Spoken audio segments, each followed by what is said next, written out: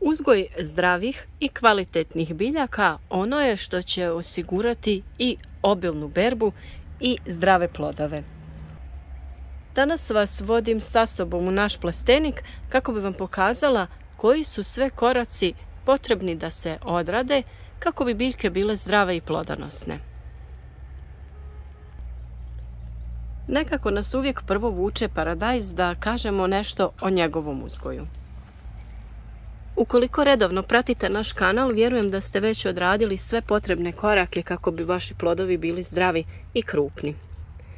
Plodovi na prvoj rodnoj grani već su u potpunosti oblikovani i to je znak da se mogu ukloniti svi ovi listovi u donjem dijelu biljke kako bi imali prozračnost i na taj način osigurali zdravu biljku te smanjili mogućnost za razvoj različitih oboljenja. Kada uklonimo sve te listove, na plodovima je samo ostao onaj dio zriobe. Ostale listove nećemo dirati jer su nam potrebni za obavljanje fotosinteze i za prihranu ostatka biljke. Te listove uklanjamo tek tada kada i na gornjoj rodnoj grani plodovi dostignu svoju punu veličinu i tako nastavljamo sve dalje kako plodovi se formiraju, uklanjamo listove i na narednim granama. Ono što je neophodno raditi kod paradajza jeste osigurati mu potporu. Na taj način biljka će biti stabilna i samo ju je potrebno s vremena na vrijeme omotati oko ove špage kako bi se ona držala i rasla uspravno. Ovako to izgleda kod nas. A ono što je također važno jeste pravovremeno uklanjanje ovih zaperaka kako ne bi oduzimali hranjiva cvjetnim granama i kako bi se plodovi lijepo formirali. Naravno da sve o uzgoju paradajza već imate na našem kanalu, o tome kako oblikovati biljke, kako spriječiti opadanje ovih cvjetova, zašto je važno da s vremena na vrijeme biljke prodrmate, kako bi došlo do samooplodnje ovih cvjetova i kako bi plodovi bili kvalitetni. Sve što vas zanima o uzgoju paradajza naravno da možete pronaći na našem kanalu.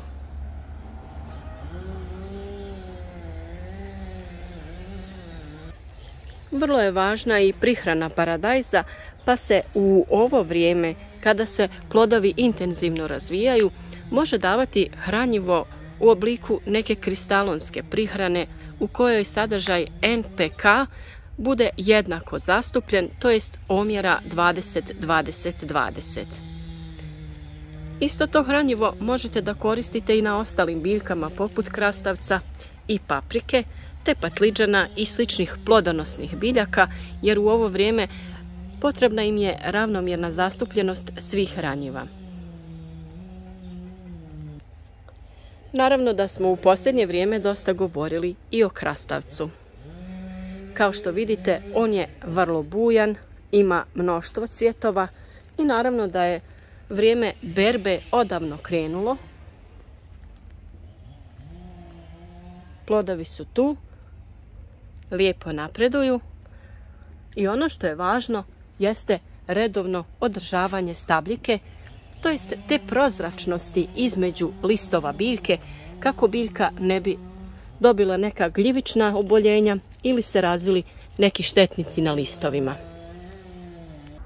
Kada ne bi uklanjali ove neke donje listove i donje zaperke, previše bi se zadržavalo vlage na listovima i na biljkama i samim tim bi stvorili idealne uslove za razvoj oboljenja. Tako da i kao kod paradajza prve listove i zaperke uklanjamo i samim tim dobivamo dobre plodove. Ono što je vrlo važno jeste da redovno berete i plodove krastavaca jer samim tim potičete razvoj novih cvjetova. A naravno to će da bude posljedica i obilne berbe jer će tada imati više cvjetova i više plodova. Ono što je također važno jeste da nemate previše ovih zaperaka. djelimično ih je potrebno uklanjati. Znači, na primjer, na svakoj drugoj grani, to jest ovom listu, ukloniti ćete zaperak, a određen dio zaperaka ćete ostaviti, jer se na tim zapercima najčešće razvijaju ovi ženski cvjetovi, to jest plodovi. Dok ovi muški cvjetovi služe izrečito za oplodnju tih ženskih cvjetova. Kao što vidite razlika je u tome što muški imaju ovu dugu stapku, a ovi ženski plodovi su već oblikovani i potrebno je samo da muški cvijet oplodi ovaj ženski, što i vi možete uraditi ručno kako bi odradili taj posao ukoliko se oplodnja pravilno ne odvija zbog kiše ili nedostatka korisnih kukaca. Vrijeme je naravno i za berbu graška u našem plasteniku.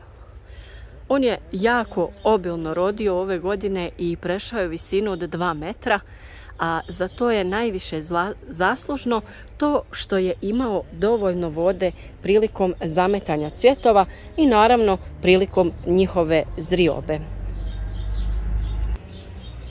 Tu je i naša boranija koja je ove godine jako obilno cvjetala i dala obilan urod. Kao što vidite i ona je dostigla visinu preko 2 metra te dodiruje i vrh plastenika i širi se na ove bočne žice. Također je tome zaslužna voda jer je za stvaranje lijepih plodova neophodno da boranija ima dovoljno vode. A kao što znate, sistem kap po kap osigurati će da biljke redovno zalijevamo i da na taj način im dajemo prihranu. Malč je neophodan u vrijeme visokih temperatura, pa možete da koristite ovaj malč u obliku crne folije, a također možete da koristite i različite prirodne materijale poput slame ili sjena kako bi zaštitili zemlju od isušivanja i nicanja korova naravno. Ovih dana je vrijeme i za berbu boranije, a ona je vrlo zdrava biljka, tako da je neophodno da ju imate u svom vrtu.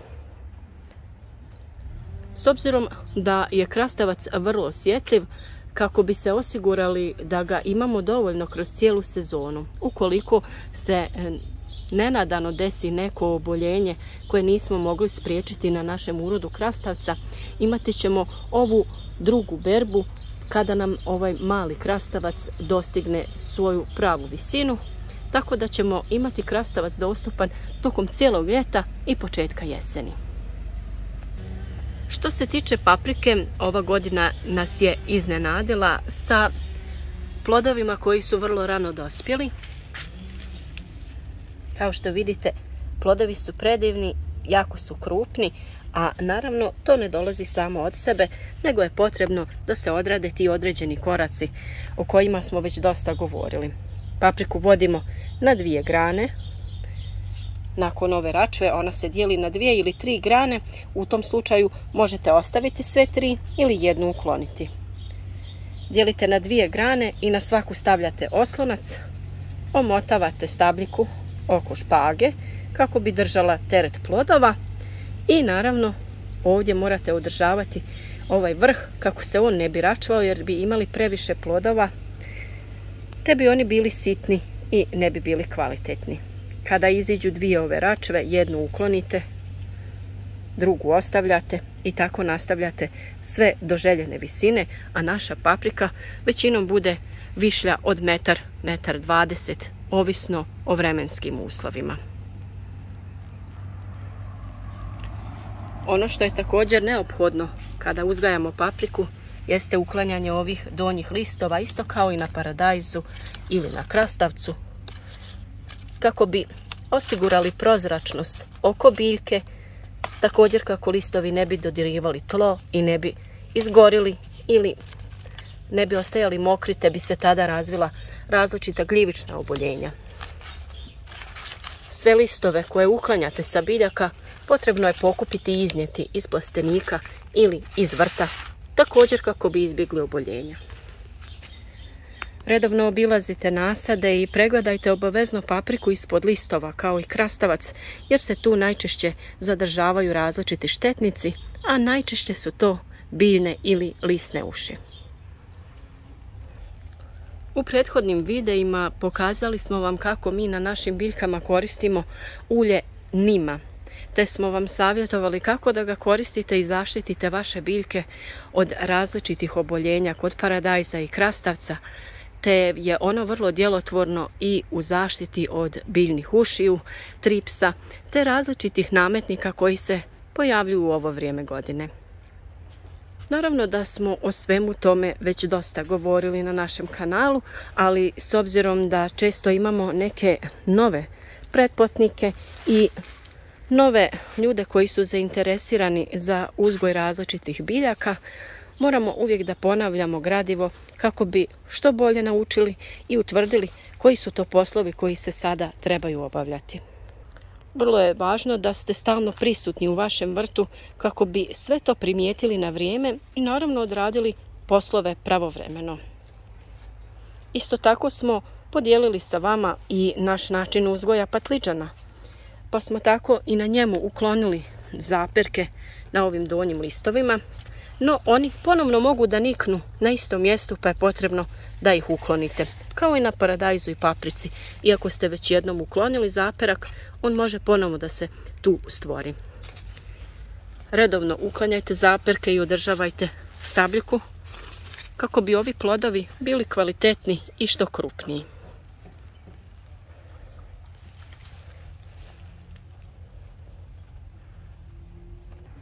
Ukoliko niste sigurni kako da održavate vaše nasade biljaka, kako da ih prihranjujete, kako da ih održavate zdravima, javite nam se u komentarima i mi ćemo pokušati da vam pomognemo. A također vam možemo i staviti link videa u kojem smo pokazali kako se održavaju nasadi određene vrste biljke. Nadam se da vam je i ovaj video bio od pomoći, da vam je skrenuo pažnju na određene korake koje je potrebno uraditi. Svi koji redovno prate naš kanal znaju zašto su ove radnje važne i već imaju neka iskustva kako se održavaju nasadi određene kulture.